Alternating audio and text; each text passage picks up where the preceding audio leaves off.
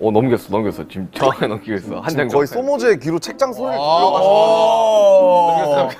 형 근데 지금 연기가 맞나 보다. 잘한다. 내가 연극영화과라니까. 아 진짜. 잘한다. 형 내가 저 형은 진짜 진짜 책, 진짜? 없, 책 없는 척을 진짜 진짜 진? 그래. accidentally taking a sip of someone else's drink. 영화과에 Ready? 역시 영, 영, 영국 영화과는 다르네. 신 씨는 그럼 그 전까지 연예인의 꿈이 전혀 없었던 거예요? 배우 하려고 했었어요.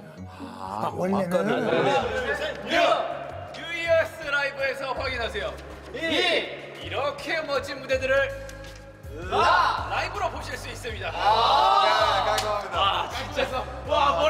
터진 줄 알았다. 되게 되게 방송국 드라마 작가님께서 보신 듯한. 大家觉得，其实，嗯、各位成员当中，哪一个人最有可能成为演员，演技会最好呢？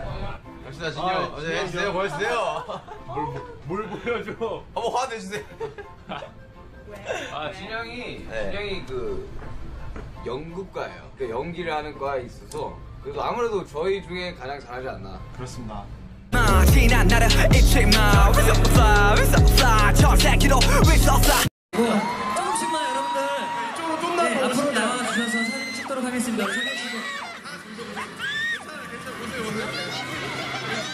네, 앞으로 나와주셔서 사진 찍도록 하겠습니다.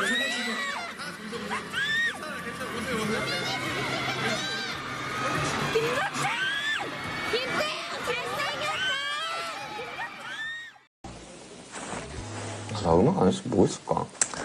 나도 했겠지 너는. 난 진짜 뭐 했을까? 형 연기하고 있겠죠 못할 수도 있지 뭐. 형 잘 됐을 것 같은데 연기했었어도